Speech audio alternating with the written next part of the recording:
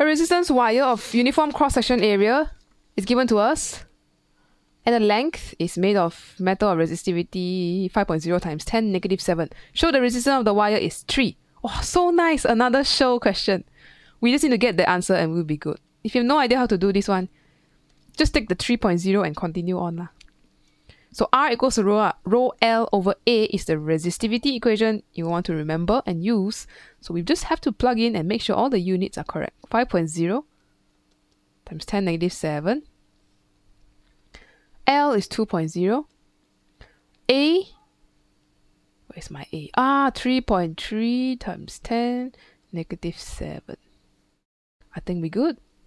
We should get about 3.03 ohm. We got the answer? Yes, we did. So you sub in everything, there's just one mark here to get the final answer. And of course, your equation. Write the equation R equals to rho L over A. In case your maths is just wrong or confusion and I have no idea what you're doing, at least I can look at your R equals rho L over A and go, okay, you understand the, the, the, the, the equation and how to use it. Now we come to a circuit. So we take that wire, put in a circuit, and we connect it to a battery with internal resistance. So the cell has a certain electromotive force. 1.50. Wow, they give in 3 SF1. Ah. Wow, scary. Ah. The potential difference between X and Y is 120 volts. That is a very big clue that I'm going to write down straight away. So X and Y is considered what we call the external circuit. So your battery, yeah, your battery is supposed to give 1.5. How come you only get 1, 1.2 outside? Because of lost volts. This internal resistance is going to cause you to lose some energy. How much do you lose? You could write it down. You lost a total of hmm, lost volts you're supposed to have 1.5, but you only got 1.2 coming out of the battery, so that will be 0.3 lost volts. Okay, so I'm going to write down. So anyway, there's a few methods we can solve the question now. We need to find the current in the circuit. Let's do...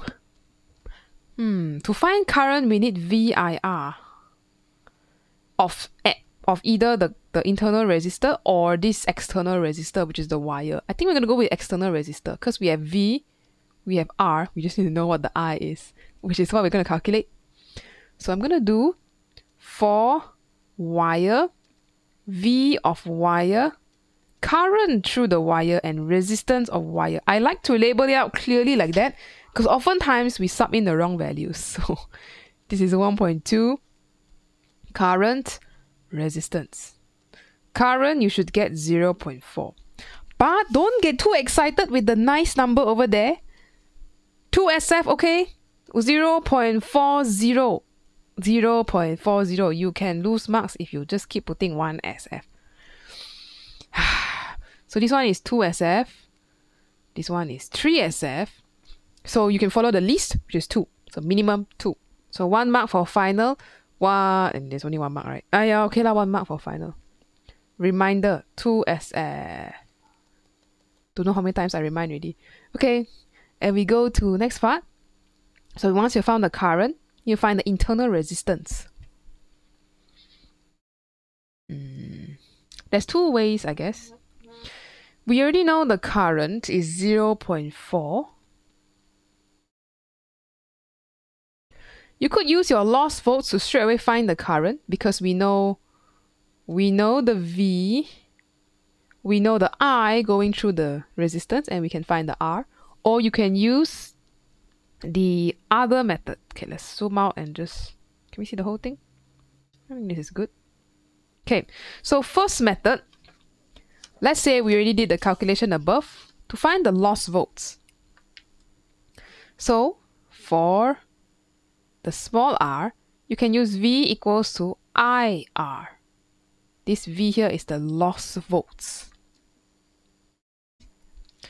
So this one can be 0 0.3 equals to 0 0.4 times R. What do we get? 0 0.3 divided by 0 0.4. Eh. 7 over 5? Oh, sorry, 7 over 5. 0 0.75. Yeah, we can get 0 0.75. Oh. Second method is also related but kind of a little bit different form.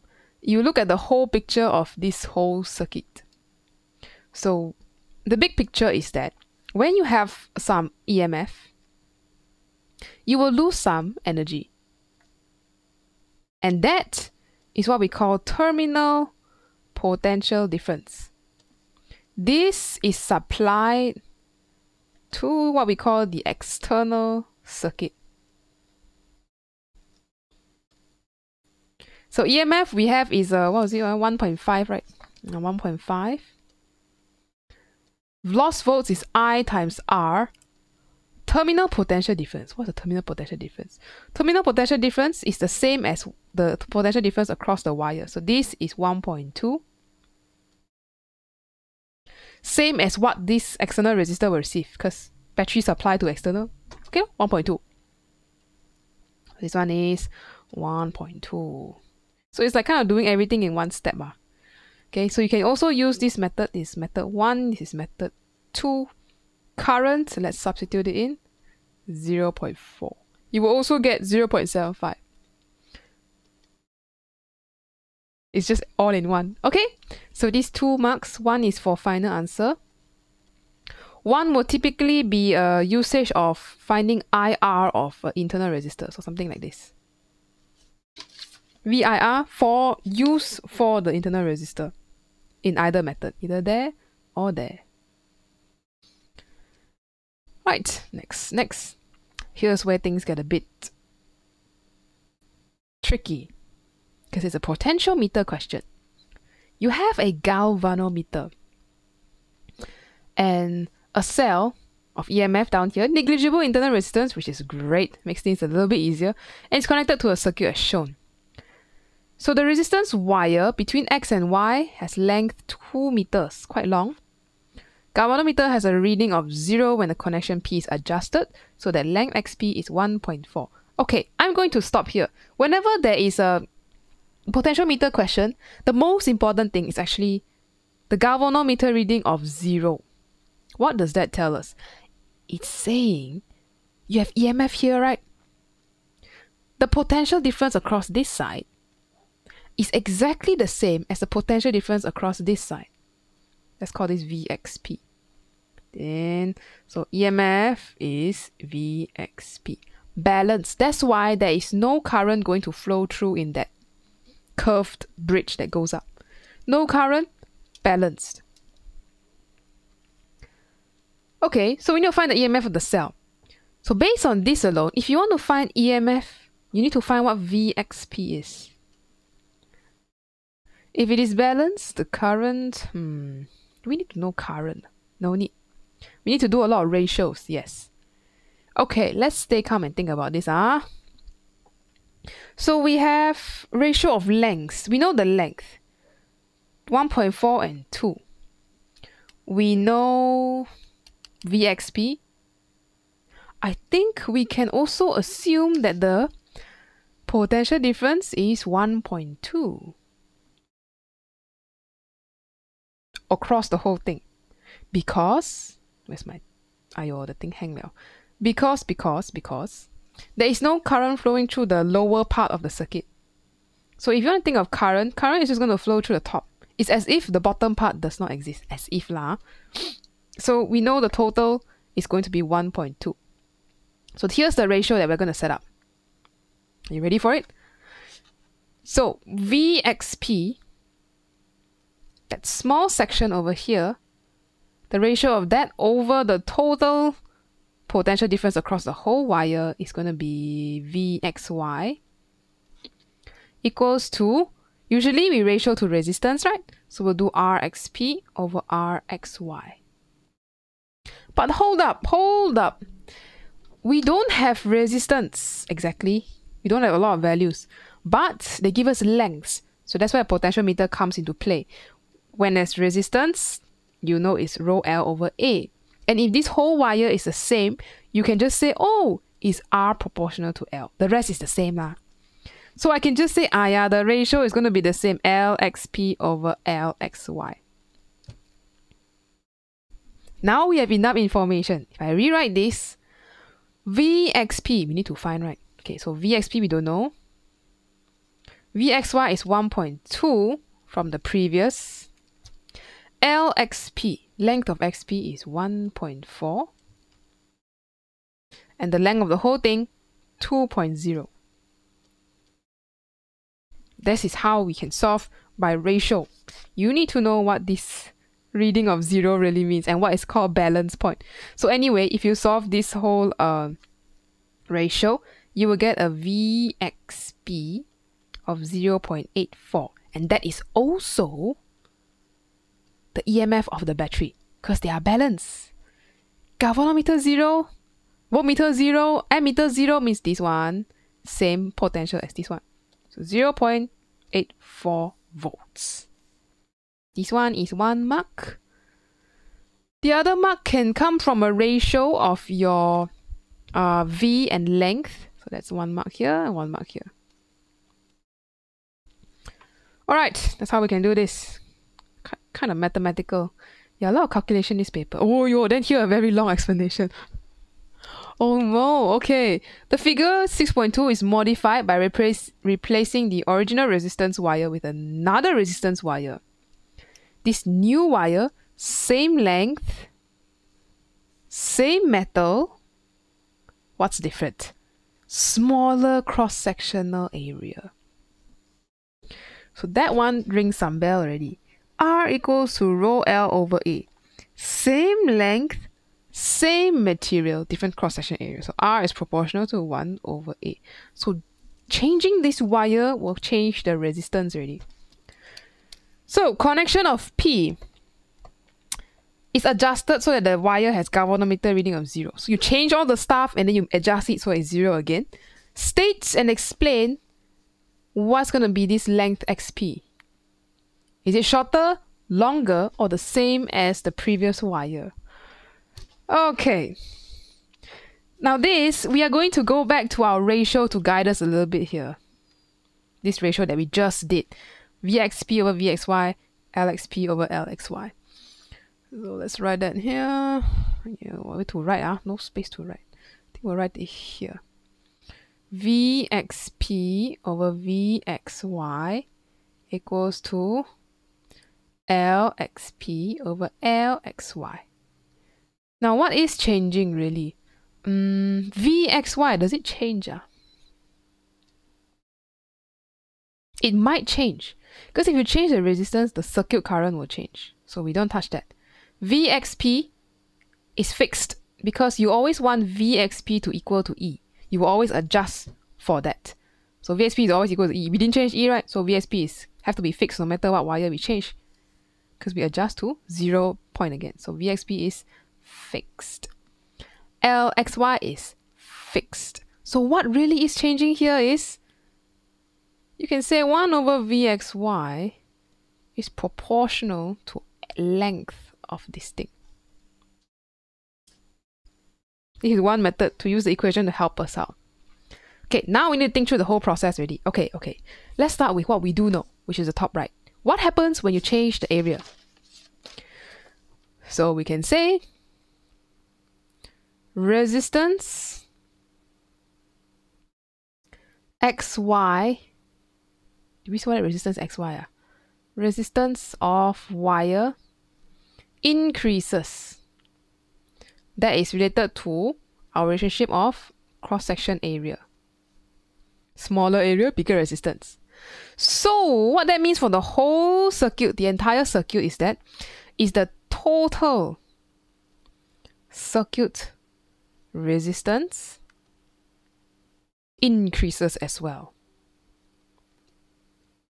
Decreases, okay, increases. Oh, sorry, increases. I was thinking about current. Okay, resistance increase, the whole circuit resistance increase already. Yeah. Because remember, we are looking, we are considering just the part with the wire like this. R. This R increase, everybody increase. So what that means is you will affect the current really. So that means number two, current in current through the battery. When resistance increase, current decrease, huh? decreases. And we are still referring to only this loop. You say, Miss, what about the down there part? We don't care about the down there part because we eventually adjust until galvanometer reading is zero. So it's like there's no current flowing down there. It's just there. So this current flowing through the battery will increase, uh, sorry, decrease, and that will affect your lost volts right here. So let's add on to here. Um, and less lost volts. So, mm, potential difference across xy, also known as terminal potential difference, increases. So I might need to digest a little bit. Pause the video, digest a bit. And okay, so okay, let's stop here. So resistance increase. Okay, current decrease. Loss volt decrease. V decrease. So you'll have more potential difference that you actually get out of the battery because you don't lose so much. Now we come to this ratio. Vxy is increasing in order to achieve the EMF of, what was the EMF? 0.84, remember? 0.84 here means here must be 0.84. So if your whole uh, potential has increased already, you don't need so much length to get that 0.84 balance. Here is 0.84. Okay, so we're gonna use that. You can use that uh, understanding or use the equation over there. So you, the last point we want to say is how that affects the length. So we can say uh, hence, oh man, my colors are just, hence the length required for Vxy to be 0.84, I'm just adding a lot of details here, is shorter. Shorter because you still want to equal to 0.84. That's your EMF. That's fixed already. It's not going to change. Okay, so the important thing is uh, understanding uh, step by step the changes to circuit and of course using the ratio and knowing what is changing, what are we fixing when we change the wire. Wow, this one, uh, I tell you, uh, very hard to get marks one. So I think what we can give is length is shorter. That's one mark. Probably going to be an A mark. Means it is linked to an explanation because you need to explain. So then the other thing that we need to probably mention is the potential difference across xy increases. This one. This is M1. And the last mark is directly linked to our R equals to rho, A, rho L over A. Do you talk about resistance? So you can say resistance Y increase, total, total circuit resistance increase. One of those things. That's okay. So that's B1 talking about the resistance. Okay, so that's where I would put all the marks at, and that's the end of this electric circuit question.